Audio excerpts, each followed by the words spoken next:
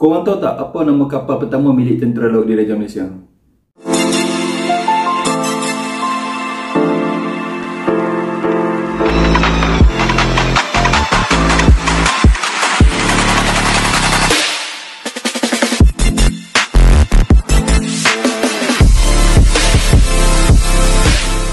Assalamualaikum dan selamat sejahtera. Aku Fakin Tokai. Welcome to my channel. Kita sembang santai cerita tentang tentera. Korang semua apa khabar? Aku harap korang berada dalam keadaan baik. Kepada yang kali pertama sampai ke channel aku ni, aku ucapkan selamat datang. Untuk maklumat korang, aku seorang pesara tentera. Jadi aku kongsikan cerita-cerita berkenaan tentera. Kepada yang belum subscribe, aku harap korang boleh subscribe. Kepada yang dah subscribe, aku ucapkan terima kasih.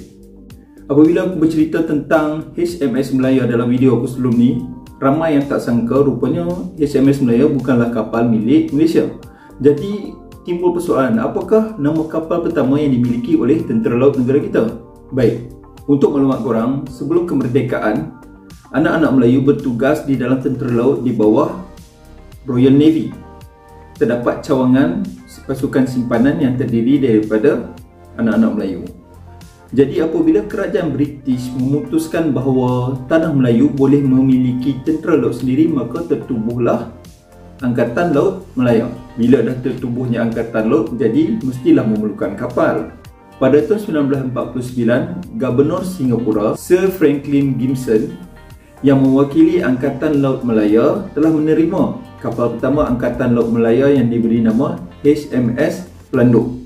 Sir Franklin telah menerima kapal tersebut dari pegawai pemerintah kawasan Melaya iaitu Laksamana Clifford Caslen. Dari segi ukuran, kapal HMS Pelandu ini memiliki panjang 60.9 meter, lebar 10.6 meter dan memiliki berat 306 tan metrik. Inilah kapal pertama yang diterima oleh Angkatan Laut Melaya daripada kerajaan British. Upacara penerimaan kapal tersebut telah dijalankan dengan penuh sejarah di Red House Jetty Pangkalan Laut, Singapura. HMS Pelanduk ni sebenarnya sebuah kapal daripada jenis landing craft tank yang dibawa ke Singapura oleh tentera laut British ketika Perang Dunia Kedua. Kapal ini seterusnya mengalami pengubahsuaian bagi kesesuaian operasi di Tanah Melayu dan juga Singapura. Nama HMS Pelanduk ni diambil sempena kenangan sebuah pangkalan tentera laut diraja British yang telah dimusnahkan ketika peperangan dunia kedua. Pangkalan ini pernah digunakan untuk menempatkan cawangan Melayu tentera laut British pada zaman Perang Dunia Kedua. Ia telah dimusnahkan oleh serangan tentera udara Jepun pada tahun 1942. Walau bagaimanapun, pada 31 Ogos 1958, semua kapal yang berada di dalam tentera laut telah ditukar kepada nama negeri-negeri yang terdapat di dalam Persekutuan Tanah Melayu.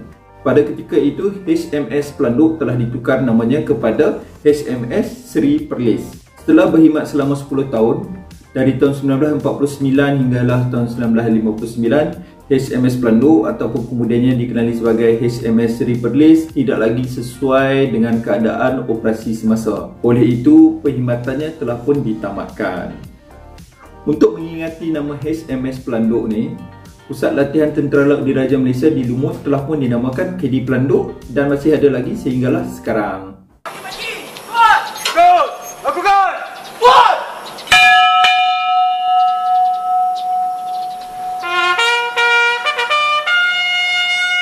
Jadi itulah serba sedikit kisah tentang kapal pertama milik Tentera Laut Diraja Malaysia iaitu HMS Pelanduk.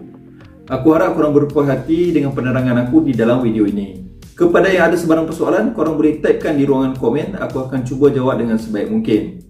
Sekali lagi kepada yang belum subscribe, aku harap korang boleh subscribe kerana aku ada kongsikan video yang baru setiap minggu.